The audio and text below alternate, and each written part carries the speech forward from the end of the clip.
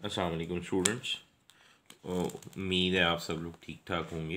ये आज जो लेक्चर मैं आपके सामने प्रेजेंट करने जा रहा हूँ, ये चैप्टर सिक्स जो कार्डिनलिटी का चैप्टर आप लोग बी एस मैथ्स वाले पढ़ रहे हैं, ये उसके सिलसिले में लास्ट लेक्चर आज मैं आप लोगों के सामने रिकॉर्ड कर रहा हूँ। चैप्टर सिक्स के अंदर बहुत डिटेल में हमने कार्डिनलिटी के कॉन्सेप्ट को डिस्कस कर लिया हुआ है।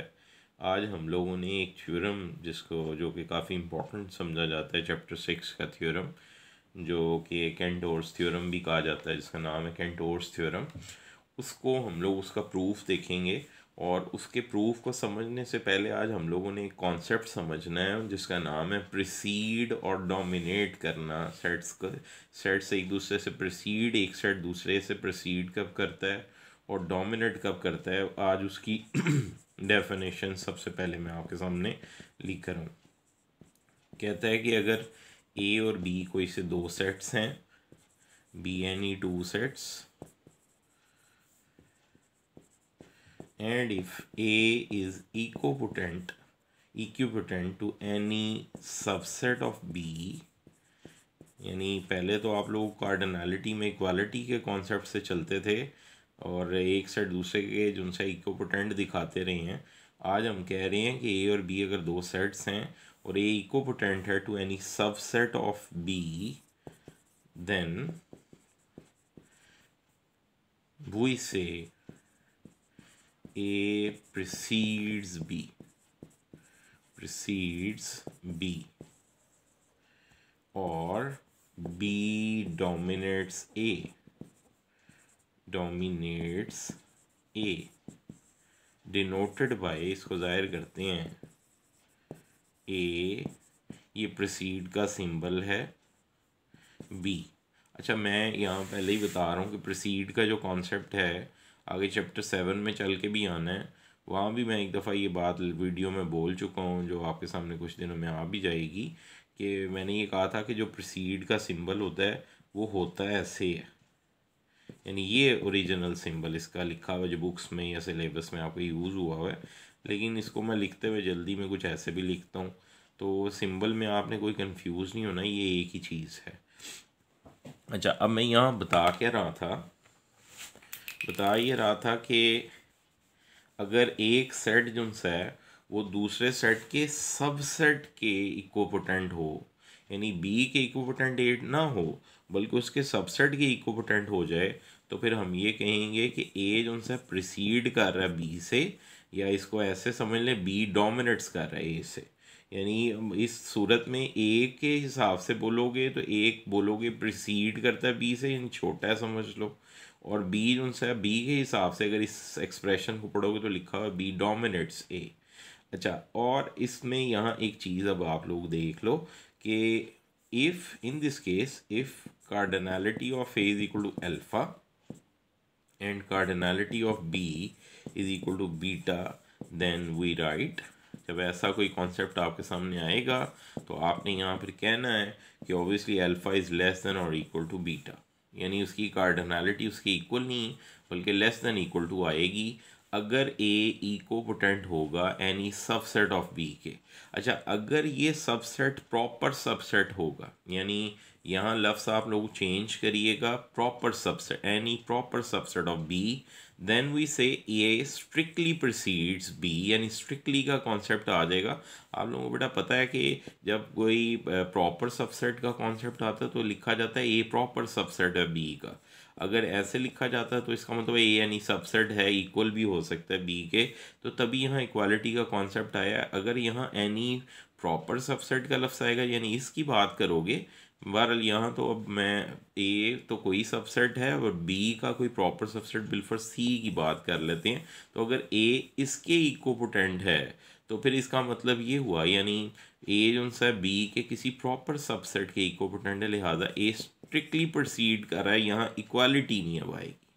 यानी ये स्ट्रिक्टली प्रोसीड करेगा बी से, तब ऐसे बोला जाएगा, और उस सूरत में जो कार्डनैलिटी है, वो अल्फ़ा लेस देन बीटा आएगा, यहाँ इक्वालिटी का कॉन्सेप्ट नहीं आएगा। तो ये थी डेफिनेशन प्रिसीड की या डोमिनेट्स करने की, जो सेट्स की डेफिनेशन थी। और यहाँ से एक बड़ी इंपॉर्टेंट चीज़ हमें पता लग रही है, वो ये कि अगर मैं इसको, इस इकोपोटेंट की बात को जेन में लाते हुए कोई फ़ंक्शन डिफाइन करूँ ए से बी पे तो वो डेफिनेशन में कहना क्या चाह रहा है? डेफिनेशन में वो ये कहना चाह रहा है कि जो ए है, ये मैंने यहाँ बी फोर तक लिखा है ए समझ लो बी वन पे मैप हुआ हुआ है ए टू जो सा बी टू पे ए थ्री जो सा बी थ्री पे मैप हुआ हुआ है तो नज़र आ रहा है कि जो ए है वो उसके अपने बी के किसी सबसेट के इकोपोटेंट है, यानी एक बाइजेक्टिव मैपिंग हमें एफ़ की मिल रही है, लेकिन ए से बी पे नहीं, बल्कि उसके किसी सबसेट के ऊपर। क्योंकि यहाँ एक एलिमेंट मिस है। इसका मतलब है एक्चुअल में वो इस डेफिनेशन के थ्रू आपको समझाना क्या चाह रहा है कि वन वन की क्वालिटी तो इस मैपिंग में है, लेकिन ऑन टू की क्वालिटी नहीं है। ये सबसे इंपॉर्टेंट बात है जो आपने नोट करनी है। वो क्या? कि अगर कोई कहता है कि आपके पास ए प्रोसीड कर रहा है बी से तो इसका मतलब ये है कि हमारे पास एक मैपिंग तो है फ्रॉम ए टू बी लेकिन बेटा वो मैपिंग जो सी है? Is one to one one to one तो होगी, लेकिन ऑन टू की कंडीशन उसमें नहीं होगी। यानी अगर एक मैपिंग एफ़ डिफाइन हो from A to B then we say F is one to one तभी ए प्रोसीड कर रहा है। बी को अगर ये ऑन टू भी हो जाती तो फिर यहाँ इको पोटेंट का कॉन्सेप्ट आ जाएगा और उस सूरत में कार्डिनैलिटी जो सी है, फिर वो इक्वल आती है। लेस या ग्रेटर की बात नहीं होती या डोमिनेट्स या प्रोसीड की बात नहीं होती। तो ये डेफिनेशन उम्मीद है आपको क्लियर होगी होगी। इसका मतलब ये हुआ कि प्रोसीड या डोमिनेट्स का कॉन्सेप्ट दो तरह से मैंने बताया है। एक तो ये है कि अगर कोई सेट जो है किसी दूसरे सेट के सब सेट के इकोपोटेंट आ जाए अदरवाइज़ अगर एक सेट जो है, उसकी एक मैपिंग हमें एक सेट से दूसरे पे ऐसे मिले इज़ वन टू वन अगर ये वन टू वन है तब भी हम कहेंगे ए प्रोसीड कर रहा है बी पे बी को, और इसका यही मतलब आप लेंगे कि इसकी कार्डनैलिटी लेस देन और equal to cardinality of B है means alpha is less than और इक्वल टू बी तो अब ये बात मत भूलिएगा कि वो जो है, वो वन टू वन मैपिंग मिलती है ऑन टू मैपिंग नहीं मिलती जब भी इन इक्वालिटी का कॉन्सेप्ट कार्डनैलिटीज़ में आ जाता है। एक्चुअल एक्चुअल में ये जो आज का लेक्चर है, ये हम लोग यही देख रहे हैं कि कार्डनैलिज कार्डनैलिटीज़ में जब इन इक्वालिटीज़ अराइज होती हैं तो फिर क्या इम्पैक्ट पड़ता है, क्या इफ़ेक्ट पड़ता है? तो उसी सिलसिले में आज पहला थ्योरम प्रूव करने जा रहा हूँ, जिसका नाम है कैंटोर्स थ्योरम ओके बेटा, ये थ्योरम जो है पेपर पॉइंट ऑफ़ व्यू से इंपॉर्टेंट है। आप इसके कॉन्सेप्ट को समझ लें। तो इसका प्रूफ मैं समझाना स्टार्ट करता हूँ। क्वेश्चन ये था, यानी क्वेश्चन अगर पेपर में आता था state and proof the Cantor's theorem अच्छा अब ये कैंटोर्स थ्योरम जो है, वो क्या है? ज़रा उसका कॉन्सेप्ट भी देख लो, उसकी स्टेटमेंट समझा रहा हूँ पहले। स्टेटमेंट उसकी ये है कि अगर ए कोई सेट है if A is any set A कोई सेट है एंड ए की कार्डनैलिटी है अल्फ़ा देन प्रूव करना है हम लोगों ने कि alpha should be less than two alpha two power alpha अब इसका मतलब क्या है? Alpha should be less than two power alpha actual में इसका मतलब ये है कि cardinality of A should be less than यानी ये थ्योरम की स्टेटमेंट तो यहाँ फिनिश होगी, मैं उसका कॉन्सेप्ट अब बता रहा हूँ। कि that is cardinality of A should be less than cardinality of two power A और बेटा आप सबको ये समझ होनी चाहिए टू पावर ए का मतलब पावर सेट ऑफ़ ए इसका मतलब ये होगा कि हमने इस थ्योरम में सिर्फ़ ये बात प्रूव करनी है कि अगर हम एक मैपिंग डिफाइन करें from A to two power A या इसे पावर सेट ऑफ़ ए कह सकते हैं तो वो मैपिंग वन वन टू होगी but is not on to लेकिन ये ऑन टू नहीं हो सकती। ये है इस थ्योरम का मेन थीम जिसको हमने प्रूव करना है। तो चलें अब इस थ्योरम की स्टेटमेंट को तो मैंने आपको समझा दी है। अब मैं इसके प्रूफ की तरफ़ आ रहा हूँ। कैंडोर थ्योरम का प्रूफ समझा रहा हूँ। वो प्रूफ समझ लें जी।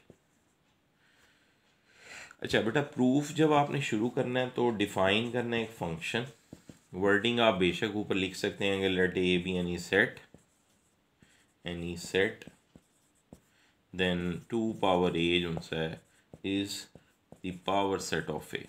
पहली लाइन आप ऐसे बता सकते हो, आपने पावर सेट ऑफ़ ए अच्छा ये बताने के बाद अब मैं डिफाइन कर रहा हूँ mapping F from A to two power A such that कि एफ़ जब ए के एलिमेंट्स पे लगती है तो ज़ाहिर है पावर सेट में बेटा सब सेट्स ऑफ़ ए आते हैं तो वो इस शेप का कोई सेट दे देती है।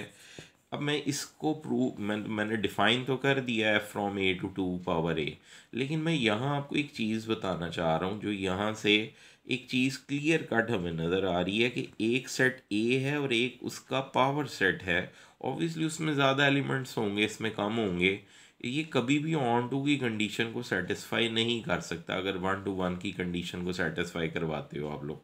तो ये बात को समझने के लिए इतना भी काफ़ी है।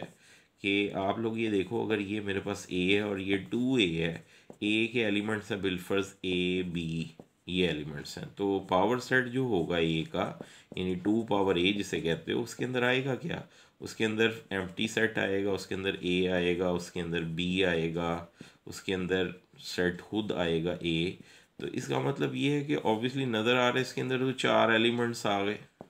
वन टू थ्री नाम उन एलिमेंट्स का मैंने इसका नाम वन इसका नाम टू इसका थ्री फोर रख दिया और इसके अंदर एलिमेंट्स हैं दो। तो अगर ये वन टू वन की कंडीशन में जाता है तो कभी भी ऑन टू इसमें सेटिस्फाई हो ही नहीं सकता। लेकिन हमने इसे मैथमेटिकली प्रूव करके दिखाना है, ये कोई फाइनाइट सेट का थ्योरम नहीं है, यहाँ एक कोई भी सेट हो सकता है।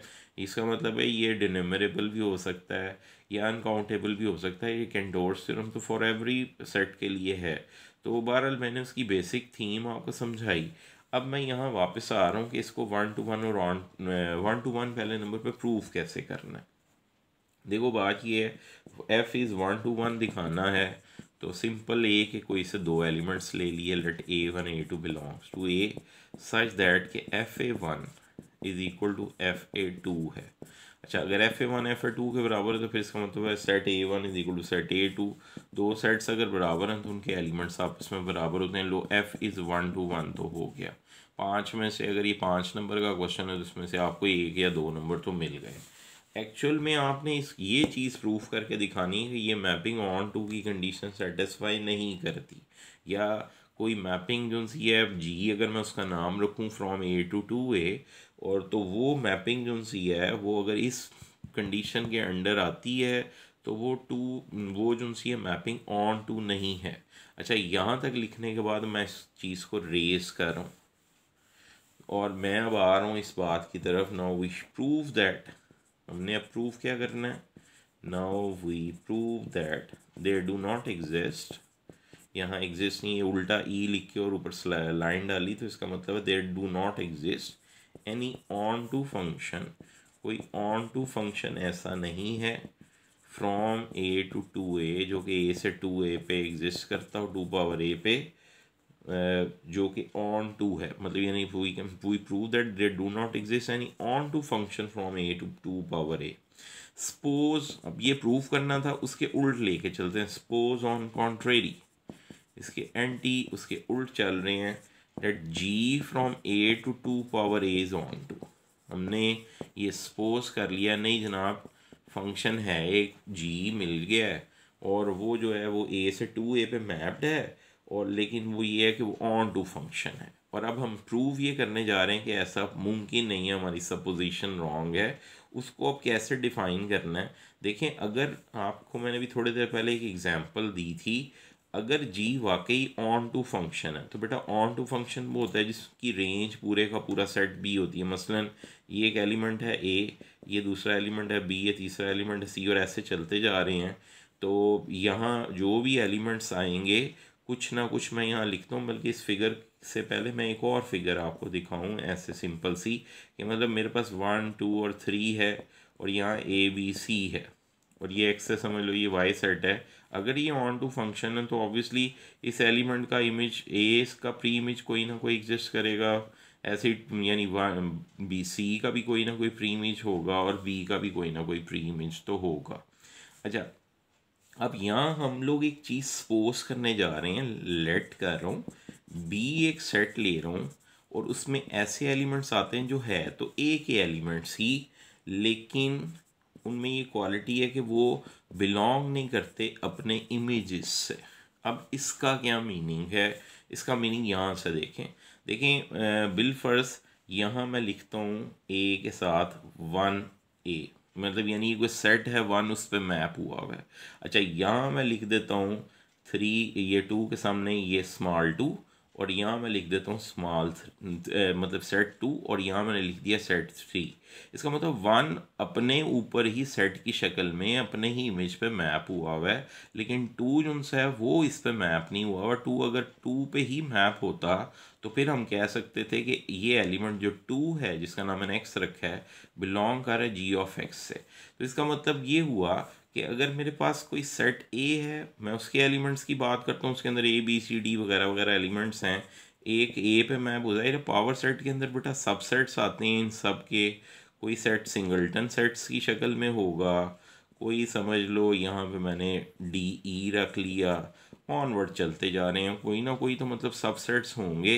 ए अगर इस पे ही मैप हुआ तो ए इसके अंदर नहीं आता बी के अंदर बिकॉज़ ए जो है अपने इमेज इमेज से इमेज से बिलोंग कर रहा है। ऐसे अगर बी इस पे मैप हुआ हो तो बी भी अपने इमेज से बिलोंग कर गया।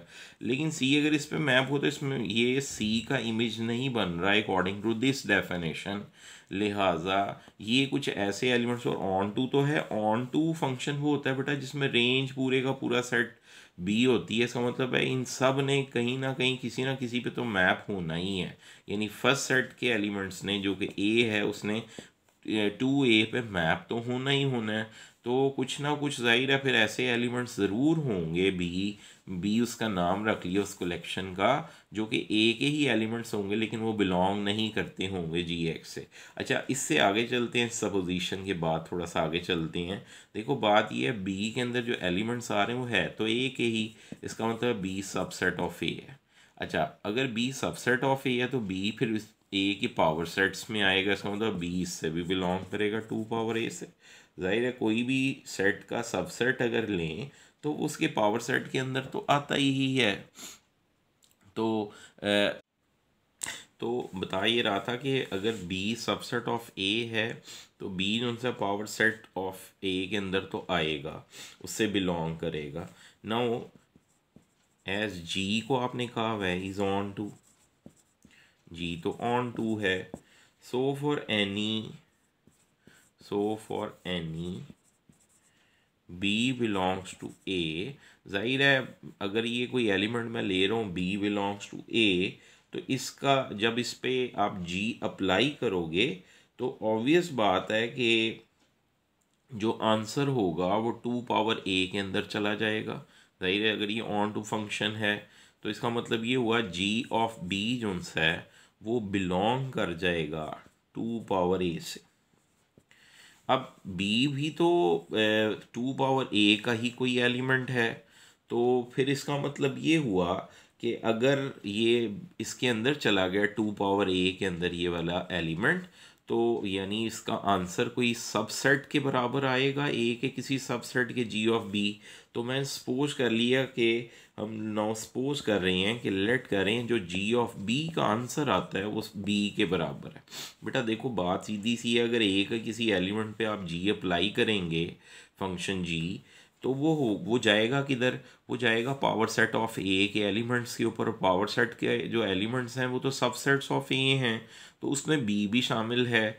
तो हमने सपोज़ कर लिया कि जी ऑफ़ बी जो है, जब वो बी के ऊपर जी अप्लाई हुआ तो जो आंसर सबसेट ऑफ़ ए का आ रहा है, उसका नाम बी है, वो बी के बराबर है। अब यहाँ दो पॉसिबिलिटीज़ हैं। वो क्या? ये जो आपने बी एलिमेंट चूज़ किया, लिया किसमें से था? ए सेट में से। और ए सेट का ही ये सबसेट था बी जो सा यानी इसके अंदर से बी लिया गया है। और हो सकता है कि जो बी सबसेट ऑफ़ ए है बी उसके अंदर वो बिलफज मैं इसका नाम सेट बी रख लूँ, ये वाले हिस्से का तो इसका मतलब ये है बी इसके अंदर मौजूद है। लेकिन अगर मैं इतने हिस्से का नाम बी रखूँगा तो बी उससे बाहर चला गया, इसका मतलब है दो पॉसिबिलिटीज़ अब आ जाएँगी। चूँकि बी इसका एलिमेंट है सेट ए का, या तो बी जो है, वो ए बी सेट में होगा, ये स्मॉल बी कैपिटल बी में होगा। अदर, या नहीं होगा, दो ही पॉसिबिलिटीज़ हो सकती हैं। तो अब मैं यहाँ से आगे चल रहा हूँ इसी बात को लेके कि हमारे पास अब दो पॉसिबिलिटीज़ आ गई हैं। So we have to know there are two possibilities अब हमारे पास दो पॉसिबिलिटीज़ हैं। क्या दो पॉसिबिलिटीज़ हैं? वो दोनों पॉसिबिलिटीज़ को मैं बारी बारी डिस्कस करता हूँ।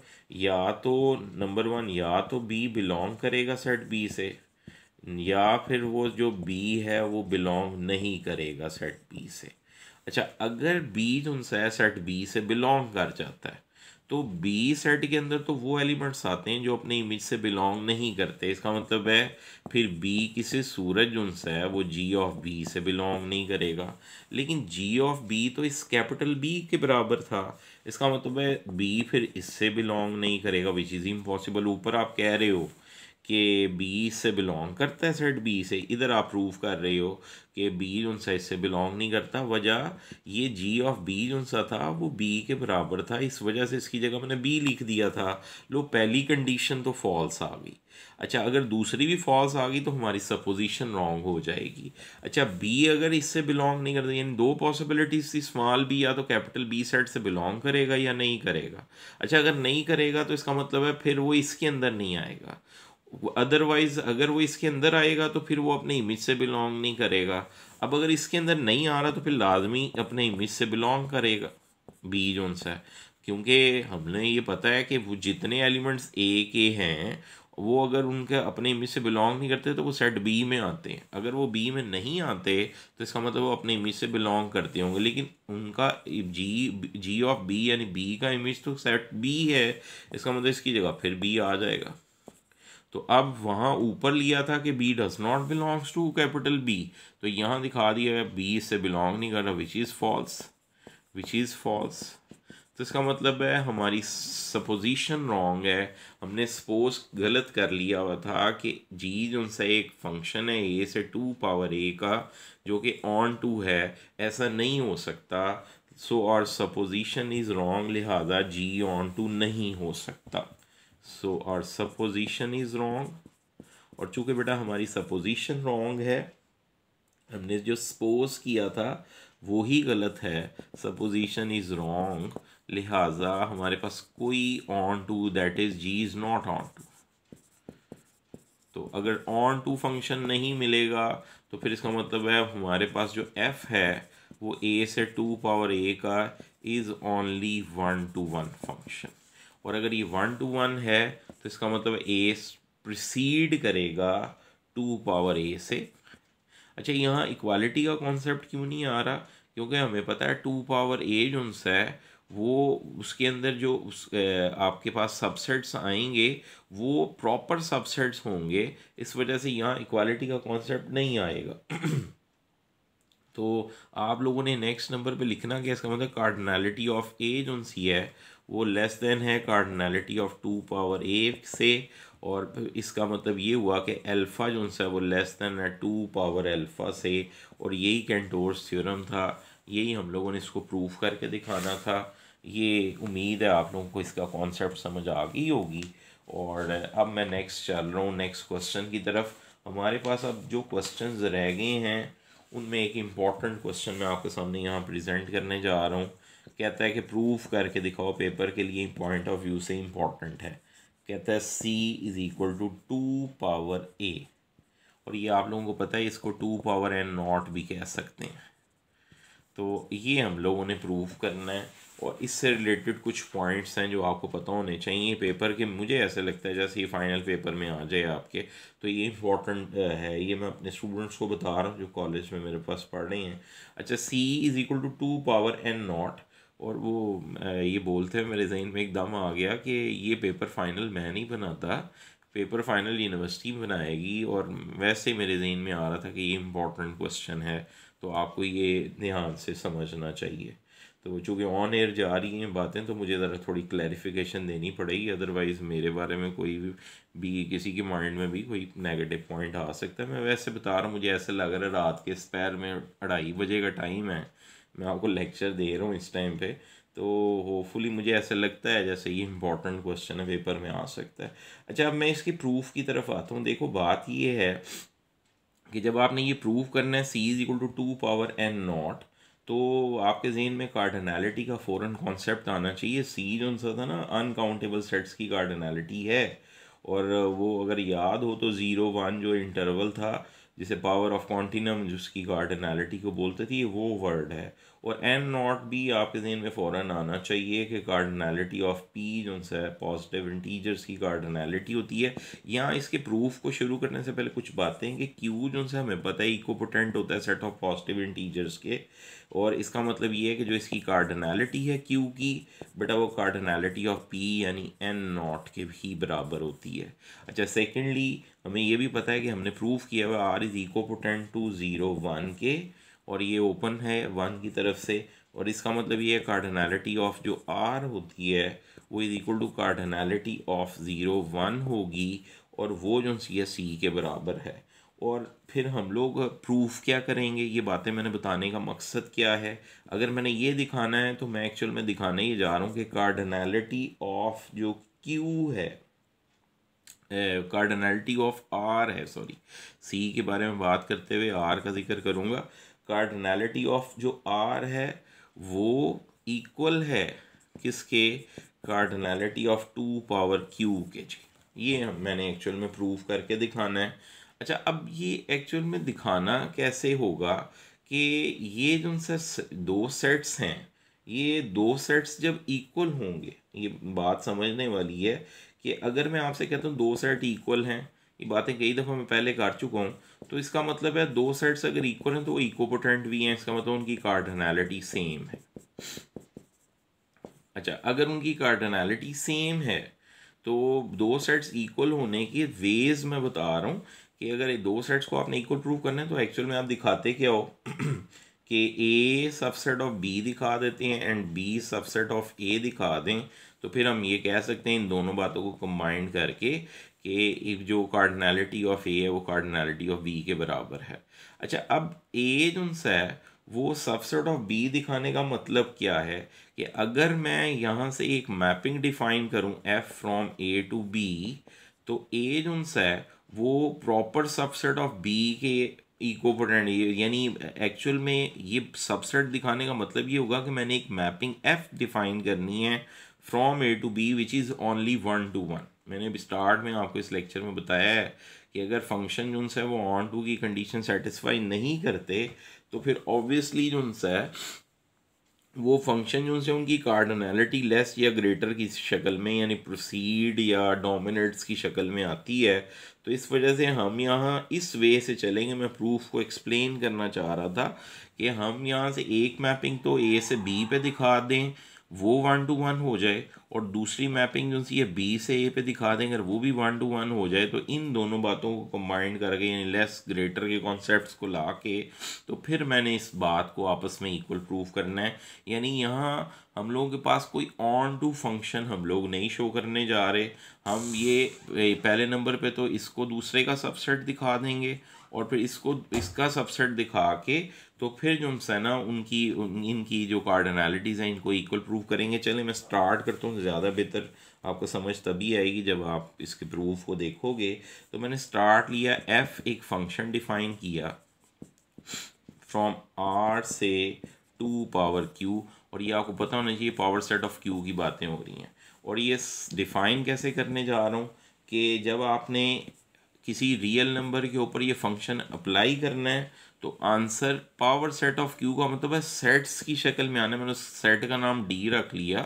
डी एक्चुअल में है क्या? डी के अंदर वो एलिमेंट्स आएँगे जो होंगे क्यू से बिलोंग करते, लेकिन उनके ऊपर एक रिस्ट्रिक्शन लगा रहा हूँ मैं कि वो ए से लेस वाले एलिमेंट्स होंगे। यानी आप लोगों ने बेटा यहाँ सेट की शक्ल में आंसर देना है। और ये रियल नंबर्स हैं और जो रैशनल नंबर्स होते हैं, वो भी रियल नंबर्स के सबसेट ही होते हैं। तो हमने ऐसा सेट जो सा इसका इमेज चूज़ करना है, ऐसा सेट इमेज बना लिया जेन में कि जिसमें जितने भी एलिमेंट्स आएँगे, ज़ाहिर है पावर सेट है। किसका पावर सेट है? रैशनल नंबर्स का। तो इसका मतलब इसके अंदर आएँगे तो रैशनल नंबर्स लेकिन वो सारे नंबर्स इस ए से लेस मैंने लिए हैं। अच्छा अब यहाँ से आगे चलते हैं। सबसे पहले मैंने एफ़ को वन टू वन प्रूव करना है। तो देखो, बात ये है कि वन टू वन प्रूव करने का तरीका होता है, इस सेट के दो एलिमेंट्स सपोज़ कर लो। मैंने लेट किया A B belongs to R अब अगर ये दोनों रियल नंबर्स हैं, और वन टू वन की कंडीशन दिखाने का क्या वे होता है कि अगर इमेजेस बराबर हैं तो प्री इमेजेस बराबर हैं। या ऐसे दिखाते हैं कि अगर इमेजेस बराबर नहीं हैं तो प्री इमेजेस भी बराबर नहीं है। यानी अगर प्री इमेजेस बराबर नहीं है तो फिर उनके इमेजेस बराबर नहीं है। ऐसे आप लोग अपने दिन में लाएँ बात कि मैं अब स्टार्ट ऐसे लेने जा रहा हूँ कि या तो मैंने ये दिखाना था, अगर इमेजेस बराबर हैं तो उनके प्री इमेजेस भी बराबर हैं। और या फिर ऐसे दिखा दूँगा कि अगर प्री इमेजेस बराबर नहीं है तो फिर इमेजेस भी बराबर नहीं दो डिफरेंट प्री इमेजेस के इमेजेस भी डिफरेंट होंगे। अगर ये दिखा देते हैं तो फिर इसका मतलब फ़ंक्शन वन टू वन हो जाएगा। अच्छा अब उसको प्रूफ कैसे करना है? उसको प्रूफ करने के लिए मैं इस ये, ये वाला वे अडॉप्ट कर रहा हूँ इसके अंदर। और प्रूफ कैसे करने जा रहा हूँ? भाई दो एलिमेंट्स लिए हैं सेट आर में से सच दैट के दोनों बराबर नहीं है। अब बेटा रियल नंबर्स के अंदर एक प्रॉपर्टी आपने पढ़ी हुई है इसका नाम है ट्राइकोटोमी प्रॉपर्टी वो प्रॉपर्टी ये कहती है, अगर दो एलिमेंट्स रियल नंबर्स जो से हैं, वो बराबर ना हो तो या ए लेस देन बी होगा, या ए ग्रेटर देन बी होगा। ऑब्वियसली रियल नंबर्स में ऑर्डर डिफाइंड होता है तो सपोज़ कर लिया ए लेस देन बी है। अच्छा अब ये भी एक थ्योरम है, छोटी क्लासेस में हम लोग देख चुके हैं इंटर लेवल पे। कहता है between any two real numbers between any two real numbers there always exist a rational number तो ये भी आपको रियल एनालिसिस की बुक में मिल जाएगा ये कॉन्सेप्ट भी। तो बहरहाल मैं यहाँ अब इस कॉन्सेप्ट को यूज़ करने जा रहा हूँ कि कहता है किसी भी दो रियल नंबर्स के दरमियान एटलीस्ट एक रैशनल नंबर वैसे तो दो रियल नंबर्स के दरमियान infinite many real numbers exist करते हैं। यानी अगर मैं वन और टू लिख रहा हूँ तो इसके दरमियान जो नंबर्स हैं, इन रियल नंबर्स वो काउंट ही नहीं किए जा सकते इतने ज़्यादा हैं। लेकिन ये है कि वो कह रहा है कि एक थ्योरम ये कहता है कि between any two real numbers there exist at least a rational number और रैशनल नंबर को मैं स्मॉल आर से रिप्रजेंट कर रहा हूँ स्मॉल आर तो इसका मतलब है अगली लाइन में मैं एक्सप्लेन क्या करूँगा? अगली लाइन में एक्सप्लेन ये करने जा रहा हूँ कि फिर इसका मतलब है ए और बी के दरमियान एक रियल नंबर आर भी एग्जिस्ट करता है। अच्छा अब ये जो इनक्वालिटी है लिखी हुई दो हिस्सों में, इस एक हिस्से का मतलब है आर ग्रेटर देन ए है और इस दूसरे हिस्से का मतलब है R is less than B अब यहाँ फ़ौर अब आपके जहन में कॉन्सेप्ट आना चाहिए कि अगर आर ग्रेटर देन ए हुआ रैशनल है ना आर अगर वो ग्रेटर देन ए हुआ तो वो डी में नहीं होगा। और डी में नहीं होगा तो इसका मतलब वो अपने इमेज से बिलोंग नहीं करेगा, यानी ए एफ़ ऑफ़ ए से बिलोंग नहीं करेगा। अगर आर ए से बड़ा है तो आर कभी भी एफ़ ऑफ़ ए से बिलोंग नहीं करेगा। इसका मतलब ये हुआ कि R does not belongs to f of A और अगर आर लेस देन बी है, यानी किसी रियल नंबर से छोटे नंबर्स वाली जितने भी हैं रियल रैशनल नंबर्स वो एफ़ ऑफ़ ए के बराबर है। अगर यहाँ लेस देन बी आया तो फिर इसका मतलब है आर लाजमी एफ़ ऑफ़ बी से बिलोंग करेगा। इसका मतलब है आर कोई एलिमेंट है जो एफ़ ऑफ़ ए में तो नहीं है, लेकिन एफ़ ऑफ़ बी में है। इसका मतलब कन्फर्म है एफ़ ऑफ़ ए कभी भी एफ़ ऑफ़ बी के बराबर नहीं होगा। और अब यही प्रूव करना था कि अगर A is not equal to B तो f of A is not equal to f of B लिहाजा f is one to one one to one की कंडीशन हमने सेटिस्फाई कर दी है। अब इसका मतलब ये हुआ, अगर ये वन टू वन आ गया तो इसका मतलब है ये मैपिंग जो सी है, वो ये शो कर रही है कि आर जो है, वो ये प्रसीड कर गया टू पावर क्यू से। ज़ाहिर है, ये वन टू वन की कंडीशन आ जाती है तो मैंने प्रोसीड की डेफिनेशन बताई थी। इस लाइन के बाद आप ये लाइन लिखेंगे और इस लाइन को लिखने के बाद आप ये कहेंगे कि अगर ये इससे प्रोसीड कर रहा है तो इसका मतलब इसकी cardinality should be less than और equal to cardinality of two power Q और आर की बेटा कार्डनैलिटी होती है सी तो इसका मतलब ये हुआ कि ये कार्डनैलिटी ये सी जो है, वो less than equal to two power Q की क्या कार्डनैलिटी थी? वो थी एन नॉट तो ये मैंने इसको शो कर दिया एक हिस्सा। यानी अब मैंने जो अगर इन दोनों को बराबर प्रूव करना था तो सी को लेस एन इक्वल टू इसके शो कर दिया। नौ मैं अब ये प्रूव कर दूँगा कि टू पावर एन नॉट जो से वो greater than equal to C भी है। तो जब ये दिखा दूँगा तो इन दोनों को कंबाइंड करके इसे बराबर शो कर देंगे। तो अब इसके लिए मुझे एक नए सिरे से एक मैपिंग दिखानी पड़ेगी, क्योंकि ये प्रोसीड करके था। अब मैंने डोमिनेट की कंडीशन दिखानी है कि जो टू एंड नॉट है, वो greater than equal to C है। या आप इस तरह ही समझ लें कि यही कंडीशन जो मैंने यहाँ अब लिखी हुई है, वो C less than equal to दिखा दिया आप सॉरी ये दिखानी है। C greater than equal to this तो इसका मतलब आप टू एंड नॉट प्रोसीड करें सी से। बेटा, ये प्रूफ करके दिखाना। तो मैंने सॉरी पहले उल्ट बोल दिया था, मैंने लिखा भी था उसको चेंज करके बोला मैंने अब। कि पहले तो दिखाया है कि सी जो है वो less than equal to this है। अब दिखाना है two N naught is less than equal to C और इसका मतलब है अब एक नए सिरे से मैपिंग डिफाइन करनी पड़ेगी, जो कि टू एंड नॉट की शक्ल के किसी सेट की होनी चाहिए। और इस तरफ़, दूसरी तरफ़, जो से अनकाउंटेबल सेट को मैंने लेना है तो उसको स्टार्ट लेने से पहले ये मैं रेस कर रहा हूँ इसको। और फिर मैं ज़रा आप लोगों को एक थ्योरम का हवाला देना चाह रहा हूँ। मैंने आपको प्रूव करवा दिया हुआ है कि करेक्टरिस्टिक फ़ंक्शंस जो उनसे होते हैं, वो इकोपोटेंट होते हैं पावर सेट का characteristic function of X is equipotent to power set of X आप इन लेक्चर्स में जो प्रीवियस मैंने दो तीन दिए हैं, उनको अगर आप देखें तो उसमें आपको ये थ्योरम का प्रूफ भी मिल जाएगा। और ये जो पी एक्स है, ये एक्चुअल में टू पावर एक्स लिखा हुआ है। तो इसका मतलब ये तो हमने पढ़ा हुआ है एक्स हो तो यहाँ एक्स आता है, और अगर सी के साथ पी लिखा हो पॉजिटिव इंटीजर्स का सेट तो टू पावर पी आ जाएगा। इसका मतलब ये हुआ, ये तो हमने पहले पढ़ा हुआ है। इसका मतलब इसकी जो कार्डनैलिटी होगी सी की सी पी की, वो बेटा बराबर होगी cardinality of two power P और पी की कार्डनैलिटी जो कि एन नॉट है तो इसका मतलब है यहाँ इक्वल का निशान आएगा। तो इसका मतलब ये हुआ कि इसकी कार्डनैलिटी टू एन नॉट ही होती है सी पी की। तो अब मैंने जो कि ये दिखाना है कि टू एन नॉट जो है, वो less than equal to C है, इसका मतलब है मैं टू एन नॉट के लिए सी पी को यूज़ कर लूँगा।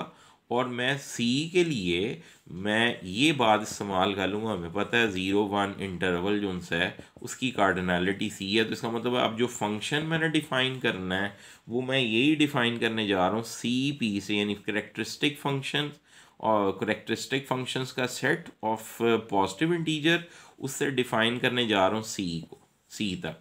और मैं इसको वन टू वन अगर प्रूव कर जाऊँगा तो फिर मैं ये वाली कंडीशन दिखा पाऊँगा कि ये चीज़ लेस दैन और इक्वल टू सी आ गई है। तो एक्चुअल में अब हमने यही करना है कि हम यू, हम लोग यहाँ से अब डिफ़ाइन करने जा रहे हैं एक function g from C P to set C तक और फिर मतलब यानी ये ये जो सी है एक्चुअल में, ये कार्डनैलिटी है इसकी ज़ीरो वन तक। तो मैंने ये अब फ़ंक्शन जो है, उसको वन टू वन प्रूव करना है। लें, अब इसकी तरफ़ आ रहा हूँ, उसको देखो, अगर मैं ये दिखा देता हूँ तो फिर वो जो सेकंड पार्ट है, वो हमारा प्रूफ हो जाएगा। उसकी तरफ़ आ रहा हूँ, मैंने जी को डिफ़ाइन किया फ्रॉम सी पी से ज़ीरो वन तक। और इस इंटरवल के अंदर वन शामिल नहीं है, इसका मतलब पॉइंट्स में फ़ंक्शंस के आंसर आएँगे बेटा जो सी पी है, वो क्या है? Set of all characteristic functions of set P के लिए। तो इसका मतलब जब आपने इसे डिफ़ाइन करना है तो किसी फ़ंक्शन के ऊपर ये लगेगा। तो आंसर जो उनसे ज़ाहिर है, ये जो फ़ंक्शंस होंगे, ये पॉजिटिव इंटीजर्स पॉजिटिव इंटीजर्स का सेट क्या है? वन टू थ्री फोर करके आता है। उसके ऊपर डिफ़ाइन किए गए फ़ंक्शंस पॉइंट्स की शक्ल में यहाँ आ जाएँगे। पॉइंट एफ़ वन फिर एफ़ टू एफ़ थ्री ये सारे पॉजिटिव इंटीजर्स के ऊपर करेक्टरिस्टिक फ़ंक्शन हैं, लेकिन वो जब पॉइंट्स की शक्ल में आएँगे तो वो इस तरह करके आ जाएगा। तो इसका मतलब ये है कि वो आपको अगर करेक्टरिस्टिक फ़ंक्शन की डेफिनेशन याद हो तो उसका आंसर ज़ीरो या वन करके आता होता था तो ये पॉइंट्स में अब आंसर दे रहे अच्छा ये जो सा है सेट ये डिफ़ाइन किया है, और ये सारी चीज़ जो सी है, वो ज़ीरो वन से बिलोंग कर जाएगी for all F belongs to C P तो आप लोगों ने यहाँ एक फ़ंक्शन डिफाइन करना है इस शक्ल में और अब इसे वन टू वन प्रूव करना है। बस ये लास्ट काम है इस क्वेश्चन का। तो वन टू वन प्रूव करने के लिए लेट दो फ़ंक्शंस ले लिए। जैसे आप लोग यूजुअल रूटीन में चलते थे, इधर थोड़ा सा अनयूजली हमने प्रूव किया नॉट इक्वल वाली कंडीशन से। तो बहरहाल F one F two belong कर रहा है सी पी से। और सच दैट के जी एफ़ वन जो है, वो बेटा जी एफ़ टू के बराबर है। अब ज़ाहिर अगर यहाँ एफ़ आया था एफ़ आया था तो फिर यहाँ एफ़ यूज़ हुआ था। एफ़ वन आया तो फिर ये आएगा point F one at one F one at two F one at three and so on is equal to अब यहाँ एफ़ टू है तो यही काम अब एफ़ टू के लिए। F two at one F two at two F two at three and so on करके लिखा। अब ये कोई, मैंने पहले भी ये बोला था, ना ये रिकरिंग है, ना ये टर्मिनेटिंग है तो इसका मतलब है ये नम डेसिमल नंबर अगर बराबर है तो इसका मतलब पहला डिजिट इसका दूसरी साइड पे पहले लिखे हुए, पहले डिजिट के बराबर, ऐसी साइड पे जो दूसरा है, वो उस साइड पे दूसरे के बराबर कॉमा सो ऑन तो इसका मतलब ये हुआ कि अगर ये इनके सब के डिजिट्स बराबर हैं तो इसका मतलब ये हुआ कि जो एफ़ वन के साथ लिखे हुए सारे पॉजिटिव इंटीजर्स हैं वो इस तरफ़ लिखे हुए एफ़ टू के साथ सारे पॉजिटिव इंटीजर्स के बराबर हैं. For all I belongs to P और इसका मतलब है एक्चुअल में एफ़ वन और एफ़ टू बराबर हैं. लिहाजा G is one to one हो गया. और जी वन टू वन हुआ तो इसका मतलब ये हुआ कि ये सेट जो है, वो प्रोसीड कर जाएगा किससे? ज़ीरो वन से. और अगर ये प्रोसीड करेगा तो फिर ऑब्वियस बात है कि इसकी जो कार्डनैलिटी है जो मैंने अभी थोड़ी देर पहले आपको बताई थी कि वो टू पावर एन नॉट बनती है, वो लेस देन और equal to cardinality of this आती है, जो कि सी बनती है। इसका मतलब है ये कंडीशन आ जाएगी अब टू पावर एन नॉट की। पहले नंबर पे ये प्रूफ किया था, इसका नाम वन रख देना, ये वाले का नाम टू रख लेना और फिर कहना कंबाइंड वन एंड टू तो ये दोनों बराबर हैं। कौन दोनों बराबर हैं? C is equal to two power N naught करके आपने लिखना है कंबाइंड वन एंड टू और फिर ये आंसर दे देना। तो ये था इस थ्योरम को या इस क्वेश्चन को प्रूव करने का वे इंपॉर्टेंट क्वेश्चन था, आपकी बुक में ये क्वेश्चन लिखा हुआ है प्रूफ करने के लिए. मैंने आपके सामने इसको प्रूफ कर दिया है. अब इसके साथ मैं कुछ यहाँ पॉइंट्स बता रहा हूँ. शॉर्ट क्वेश्चन अगर आए तो आपको एटलीस्ट उसका आंसर देना आना चाहिए. यहाँ मेरे पास एक लिस्ट है तो दो पॉइंट्स की शक्ल में लिखी हुई नोट नंबर वन जी देखो, अभी प्रूफ ही है कि सी जो है वो बराबर है टू पावर एन नॉट के. अच्छा फिर इसका मतलब हुआ सी की पावर में अगर एन नॉट आएगा तो ये लिखा हुआ टू की पावर एन नॉट की पावर एन नॉट तो इसका मतलब है टू की power N naught dot N naught आ गया सी पावर एन नॉट जो है अच्छा अब हमने ये पहले प्रूफ किया हुआ इस चैप्टर के अंदर N naught dot N naught मैं अब इसको करली शेप में नहीं लिख रहा, आपको पता होना चाहिए, ये अल्फ़ा भी हो सकता है। तो ये तो एन नॉट के ही बराबर होता है, ये हमने प्रूफ किया है। इसका मतलब है सी पावर एन नॉट जो है वो टू पावर एन नॉट के बराबर है और टू पावर एन नॉट तो सी का नाम था। इसका मतलब है सी पावर एन नॉट जो है वो सी के ही बराबर है। तो ये क्वेश्चन अगर आए तो अब आपको ये सॉल्व करना आना चाहिए। दूसरा पॉइंट देखो C is equal to two power N naught है अगर तो फिर सी पावर सी जो है, वो क्या आएगा? Two power N naught power C. और मैंने ये भी आपको प्रूव करवाया हुआ एन नॉट डॉट सी जो है वो सी के ही बराबर होता है, आप लेक्चर्स देख सकते हो। तो इसका मतलब एन नॉट सी जो है, वो सी के ही बराबर है तो सी पावर सी जो है, वो टू पावर सी के भी बराबर होता है। तो अब ये अगर आपके सामने क्वेश्चन आता है तो आप लोगों को इसका प्रूफ मैंने समझा दिया इसको देख लो। आपकी बुक में ये पॉइंट्स मौजूद थे, मैंने ये भी वेरीफाई करवा दिए अच्छा जी, ये पॉइंट्स बताने के बाद आज के लेक्चर के लास्ट जो क्वेश्चंस हैं, तीन चार छोटे छोटे से क्वेश्चंस हैं, उनकी तरफ़ आ रहा हूँ। नंबर वन पे क्वेश्चन में ये कहता है कि प्रूव करके दिखाओ, ये जो प्रोसीड का सिंबल है इज़ नंबर वन रिफ्लेक्सिव है और नंबर टू ट्रांजिटिव है। यानी एंटी सिमेट्री की बात यहाँ नहीं हो रही। और ये अब इसको प्रूव कैसे करना है? तो इसके प्रूफ को स्टार्ट लेने के लिए नंबर वन के ऊपर हमें पता है कि लेट कर लेते हैं। अगर ए बी यानी कोई सेट है एनी सेट सच दैट कि उसकी कार्डनैलिटी जो सी है, वो अल्फ़ा है। देन एज अगर मैं एक फ़ंक्शन लिखता हूँ from A to A is always one to one तो हमें पता ये आइडेंटिटी मैपिंग है तो ये तो होती वन वन है। तो अगर ये वन टू वन है तो इसका मतलब क्या हुआ? कि ऑन टू की बात नहीं हो रही, सिर्फ़ वन टू वन की बात हो रही। इसका मतलब है, लाजमी फिर जो ए है, वो प्रोसीड कर जाएगा ए से। और अगर ये प्रोसीड कर जाएगा ए से तो इसकी जो कार्डनैलिटी है, बल्कि कार्डनैलिटी का कॉन्सेप्ट बताने की ज़रूरत ही नहीं है, ये रिफ्लेक्सिव की कंडीशन आ गई है। इसका मतलब है, ये सिंबल इज़ रिफ्लेक्सिव बेटा सिर्फ़ दो पॉइंट्स को प्रूव करना है, एक रिफ्लेक्सिव और दूसरा ट्रांजिटिव अच्छा अब दूसरे नंबर पर ट्रांजिटिव की तरफ़ जाते हैं तो तीन सेट्स ले लेते हैं लेट ए बी अच्छा यहाँ मैंने इसकी कार्डनैलिटी को शो कर दिया, वैसे कार्डनैलिटी को शो करने की भी ज़रूरत नहीं है.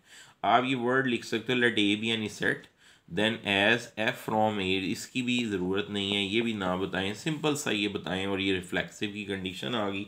ऐसे ही अब तीन सेट्स ले लो A B C be any three sets अच्छा अगर ये तीन सेट्स हैं सच दैट कि ए प्रोसीड कर रहा है बी से एंड बी प्रोसीड कर रहा है सी. से तो बेटा, अगर ये प्रोसीड कर रहा है ए से बी तो एक फ़ंक्शन लाजमी मिलेगा from A to B is one to one और अगर ये बी प्रोसीड कर रहा सी से तो एक फ़ंक्शन जी नाम रख लो. बी से सी वो भी मिलेगा which is one to one तो आप लोगों ने चैप्टर नंबर फोर के अंदर कंपोजिशन ऑफ़ फ़ंक्शंस देखा है। अगर ये दोनों वन टू वन फ़ंक्शन है तो इनकी composition which is G compose on F which is from A to set C is one to one हमें पता है, दो वन टू वन फ़ंक्शन की कंपोजिशन भी वन टू वन होती है। इसका मतलब हमने एक वन टू वन फ़ंक्शन ढूंढ लिया जो ए से सी पे है।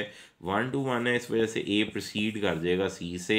तो पहले कहा था ए प्रोसीड बी कर रहा है बी प्रोसीड सी कर रहा है, और दिखा क्या दिया ए प्रोसीड सी कर गया।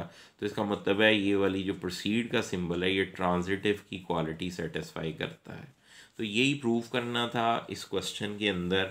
अब मैं आ रहा हूँ इसके बाद लेक्चर के लास्ट क्वेश्चन की तरफ़ लास्ट क्वेश्चन की तरफ़, जिसके वो चार पार्ट्स हैं। मैं कोशिश करता हूँ मैक्सिमम मैं करूँ और एक आध आप भी करें। तो यूँ चैप्टर सिक्स की हर चीज़ मैंने एक्सप्लेन कर दी है और जितने मैंने लेक्चर्स दे दिए हैं, उन्हीं को आपने प्रिपेयर करना है तो आपका चैप्टर सिक्स प्रिपेयर हो जाएगा। मेरे ख्याल में मोर देन इनफ मैंने काम करवा दी है, जो कि बी एस लेवल पे कोई टीचर नहीं करवाता। Okay prove that if alpha is less than और equal to beta at least कम अज़ कम फ़र्स्ट सेमेस्टर में तो नहीं करवाता। Then for any cardinal number then for any cardinal number gamma number 1 number 2 number 3 and number 4 अच्छा पहला part क्या है कि G alpha plus gamma is less than और equal to beta plus gamma proof करो नंबर दो है alpha gamma को लेस और equal to beta gamma proof करो। नंबर थ्री है अल्फ़ा पार गैमा को less than equal to beta par gamma proof करो। और लास्ट में है गैमा पार अल्फ़ा को less than equal to gamma par beta proof करो। चलो, ये पार्ट भी मैं करता हूँ, ये भी और ये भी। आप एटलीस्ट एक पार्ट ज़रूर करेंगे, वो मैंने आपके लिए छोड़ दिया।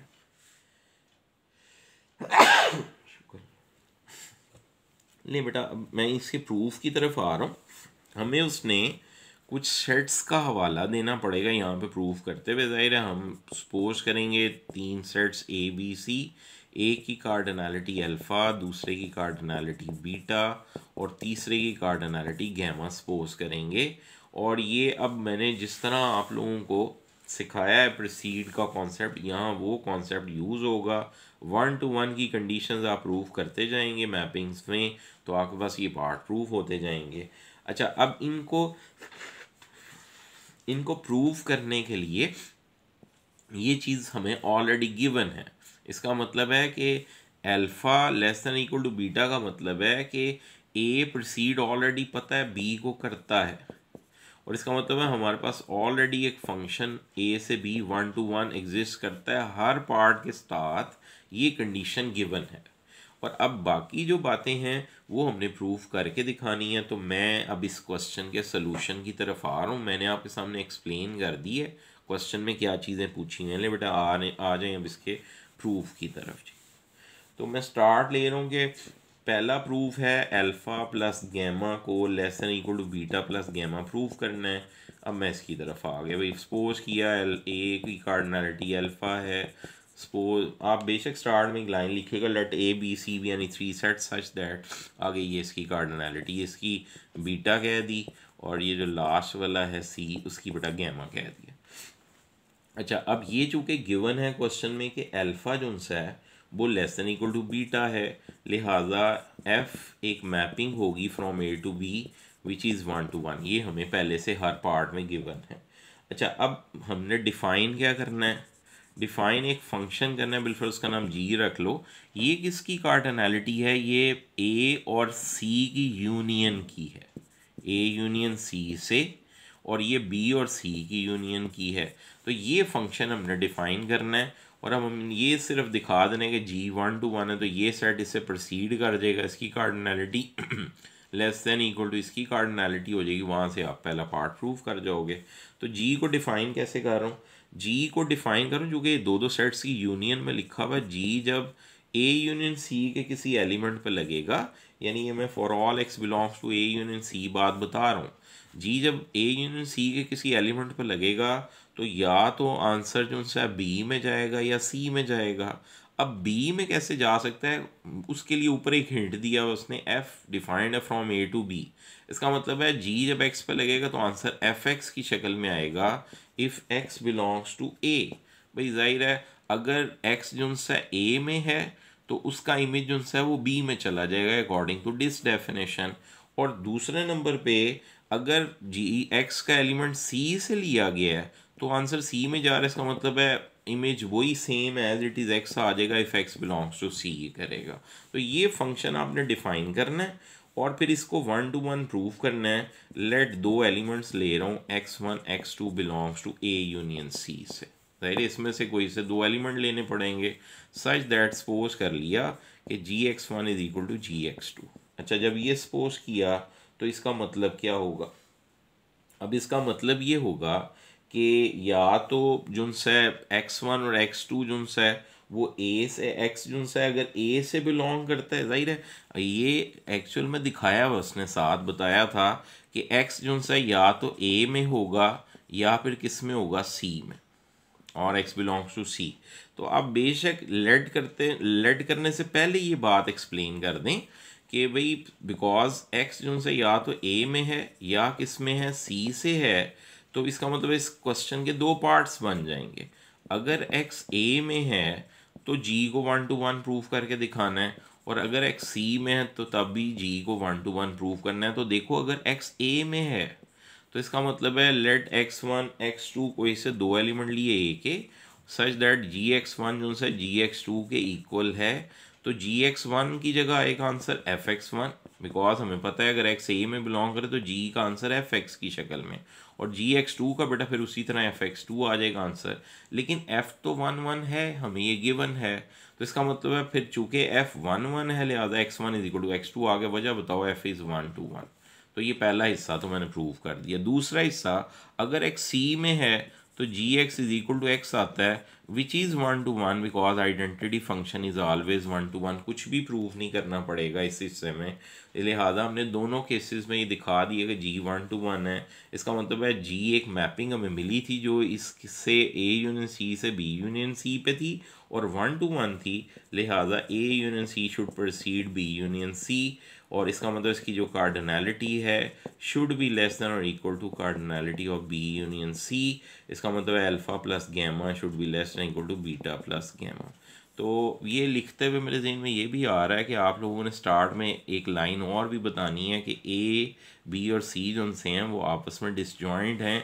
उनमें कोई चीज़ कॉमन नहीं है। अदरवाइज़ इसे सम की शक्ल में या इसको सम की शक्ल में नहीं लिख सकते। तो ये आपको हो सकता है क्वेश्चन में साथ दे दे अदरवाइज़ जब आपको ऐसा यूनियन की शक्ल का कॉन्सेप्ट आता है तो खुद बता दिया करें कि ये जो सेट्स हमने यहाँ लेने हैं वो डिसजॉइंट सेट्स हैं ए बी सी अच्छा मैं अब चल रहा हूँ और ये सिर्फ़ यूनियन के क्वेश्चन की बात मैं कर रहा था। अब मैं चल रहा हूँ इसके सेकंड पार्ट की तरफ़। देखो बेटा सेकंड पार्ट में उसने कहा, ये प्रूव करो alpha multiply by gamma should be less than equal to beta multiply by gamma और क्वेश्चन के स्टार्ट में उसने खुद बताया हुआ alpha less than equal to beta है। स्टार्ट उसी तरह लेना है ए बी सी तीन सेट्स हैं। कार्डनैलिटी ऑफ़ ए अल्फ़ा है कार्डनैलिटी ऑफ़ बी जो सा बीटा है कार्डनैलिटी ऑफ़ सी जो सा वो गैमा सपोज़ कर ली हुई है। और फिर आगे चलते हुए ये बताना है कि चूँकि alpha is less than equal to B लिहाजा एक मैपिंग ए से बी वन टू वन मौजूद है। अच्छा अब यहाँ मैंने दिखाना क्या है? मैंने एक्चुअल में दिखाना ये लिखा क्या हुआ? लिखा हुआ cardinality of A cross C should be less than equal to cardinality of B cross C इसका मतलब एक फ़ंक्शन डिफाइन करूँगा G from A cross C to B cross C और उसे just one to one proof कर दूँगा जी। अच्छा अब यहाँ जो है वन टू वन प्रूफ कैसे करोगे? भाई ए क्रॉस सी के अंदर जो एलिमेंट्स आएँगे, वो ए कॉमा आप लोग यहाँ एक्स वन कह लो मतलब यानी फ़ंक्शन है मैं डिफ़ाइन करने जा रहा हूँ सच दैट ये डिफ़ाइन कर रहा हूँ। मैंने यहाँ लिख दिया हुआ है जी ए कॉमा एक्स पे जब लगेगा तो आंसर जो उनसे एफ़ ए कॉमा एक्स करके आ जाएगा। अच्छा ये एफ़ ए कॉमा एक्स क्यों लिखा? For all A X belongs to A cross C देखो बेटा, बात ये है कि ऊपर यहाँ बताया हुआ हमें कि एफ़ ए से बी फ़ंक्शन है। जब एफ़ ए के एलिमेंट्स पे लगेगा तो आंसर बी कर बी के एलिमेंट्स की शक्ल के ही आएगा। तो ये जो बी है एक्चुअल में, ये एफ़ के ऊपर ए लगा होगा तो फिर ही एलिमेंट बी में जाता है। तो इसी शक्ल का होगा।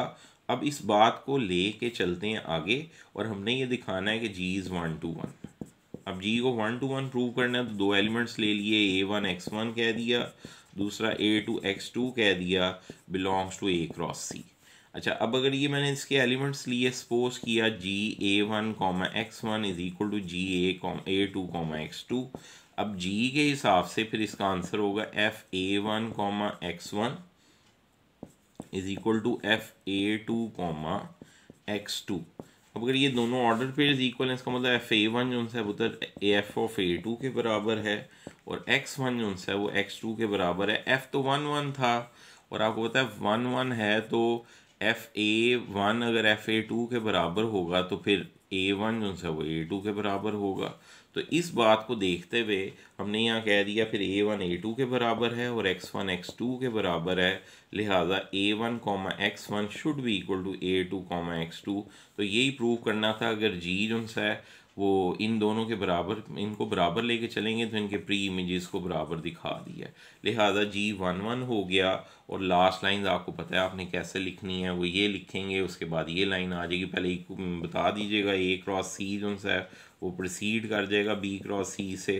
क्योंकि वन टू वन मैपिंग मिल गई है फिर कार्डनैलिटी का बताना कि वो शुड बी लेस देन और equal to cardinality of V cross C और फिर आगे ये लाइन लिख देना जो क्वेश्चन में फ़र्स्ट लाइन है। लेकिन जी चैप्टर सिक्स का आखिरी लेक्चर का आखिरी पार्ट करके दिखाने लगो लास्ट क्वेश्चन कहता है, ये प्रूफ कर दो गैमा की power alpha should be less than equal to gamma power beta ये इसका प्रूफ समझाने लगो जी। और बात साथ वही है कि हमें उसने स्टार्ट में बता दिया हुआ है कि अल्फ़ा चूँकि less than equal to beta है, लिहाजा हमें पता है एक फ़ंक्शन ए से बी होगा which should be one to one अब मैंने ये प्रूफ क्या करना है? मैंने ये प्रूव करना है cardinality of C power A should be less than और equal to cardinality of C power B अभी लास्ट लेक्चर जो मैंने ट्वेंटी दिया हुआ है, उसके अंदर मैंने आप लोगों को बताया हुआ है कि ये फ़ंक्शंस का सेट होता है जो कि ए से सी पर डिफाइंड है, और सॉरी सी से ए पर डिफाइंड है नहीं ए से सी पे और ये गैमा मैंने लिख दिया, मेरे ख्याल में क्वेश्चन मैं थोड़ा सा देख लूँ कि वो क्वेश्चन क्या था। गैमा पावर एल्फा ही था। हाँ गैमा पावर एल्फा ठीक है। तो बेटा ये फ़ंक्शंस जो उनसे हैं, वो ए से सी पर डिफाइंड है, और ये फ़ंक्शन है बी से सी पर डिफाइंड अच्छा अब मैंने इसको प्रूव करना है लेस दैन इक्वल टू की शेप में तो मैंने एक फ़ंक्शन दिखाना है सी पावर ए से सी पावर बी तक, और इसे वन टू वन प्रूफ करना है। पहले तो ज़रा सी पावर ए और सी पावर बी को एक्सप्लेन करते हैं। सी पावर ए में जो फ़ंक्शंस आएँगे, वो फ़ंक्शंस ऐसे फ़ंक्शन होंगे जो ए से सी पर डिफाइंड है। और बेटा, इसके अंदर जो फ़ंक्शंस आएँगे अच्छा यहाँ मैंने इसका नाम जो है, वो जी रख लिया मैं इसका नाम एच रख लेता हूँ। तो पहले तो इसको मैं ज़रा डिफ़ाइन कर दूँ। जी ऐसे फ़ंक्शंस हैं जो कि बी से सी पर डिफ़ाइंड है। तो अब मैं इन बातों को करने के बाद जो है, वो यहाँ आ गया। एच जो है, जब वो सी पावर ए के ऊपर यानी एफ़ पे लगेगा तो आंसर सी पावर बी यानी जी टाइप का फ़ंक्शन आएगा। For all F belongs to C power A तो ये मैंने डिफाइन किया फ़ंक्शन एच और अब मैंने इसको प्रूव करना है H is one to one तो एज को वन टू वन प्रूफ करने जा रहा हूँ। उसके लिए सपोज़ कर लेते हैं एफ़ वन एफ़ टू दो फ़ंक्शंस मैंने ले लिए किसमें से? सी पावर ए में से। अब मैंने यहाँ एच एफ़ वन को equal to H F two start ले लिया। बेटा सीधी सी बात है सच दैट कह के या लेट करके। सीधी सी बात है, अगर H F one is equal to H F two है तो इसका मतलब G one is equal to G two है। अब G one is equal to G two का मतलब क्या है? और ये इसका मतलब ये हुआ कि जी जो है वो फ़ंक्शंस थे फ्रॉम बी टू सी इसका मतलब अगर जी वन जी टू के बराबर है तो G one at X should be equal to G two at X for all X belongs to B ये सारे जो बी के एलिमेंट्स हैं, उसके ऊपर जी की वैल्यू बराबर है। अच्छा अब ये जो जी की वैल्यू बराबर है आपको पता है जी जो है, वो जिन एलिमेंट्स को, के ऊपर लिया था, उसमें पहले नंबर पे ये बात बताई गई थी कि ए सबसेट है बी का, तभी जो है वो कार्डनैलिटी इसकी लेस देन और इक्वल टू दिखाई थी। इसका मतलब है ए अगर सबसेट था बी का तो फिर ये सेट जो है, वो इससे छोटा है। इसका मतलब एफ़ एक्चुअल में जी की ही रिस्ट्रिक्शन है। क्योंकि ये अगर ये रिस्ट्रिक्शन की डेफिनेशन याद हो आप लोगों को, अगर G from B to C कोई फ़ंक्शन है तो एफ़ और ए सबसेट है बी का तो फिर एफ़ जो है एक्चुअल में जी की रिस्ट्रिक्शन है। और ये रिस्ट्रिक्शन कहाँ पे अप्लाई होगी? एट ए के ऊपर। ज़ाहिर है तभी जो है फिर F function from A to C है। और यही बात यहाँ यूज़ होने लगी है, चूँकि जी जो है उस जी वन और जी टू बी के सारे एलिमेंट्स पे बराबर वैल्यू रखता है एंड एफ़ क्लियरली सवाल के मुताबिक हमें पता है F is a restriction of G on A restriction of G on A लिहाजा जैसे G one X is equal to G two X for all X belongs to B आएगा, ऐसे ही नेक्स्ट नंबर पे जी वन एक्स जो है, वो जी two x के बराबर होगा for all X belongs to A और एक्चुअल में ये जो जी वन और जी टू जो है, वो at X belongs to A जो है इक्वल होगा। वो जी चूँकि रिस्ट्रिक्शन लिखी हुई थी तो वो एफ़ जो है वो रिस्ट्रिक्शन थी जी वन की, लिहाजा एफ़ वन एक्चुअल में एफ़ टू के बराबर हो जाएगा। तो ज़ाहिर है अगर एक्स बिलोंग्स टू बी के ऊपर ये सब बराबर वैल्यूज़ रखते हैं तो एक्स बिलोंग्स टू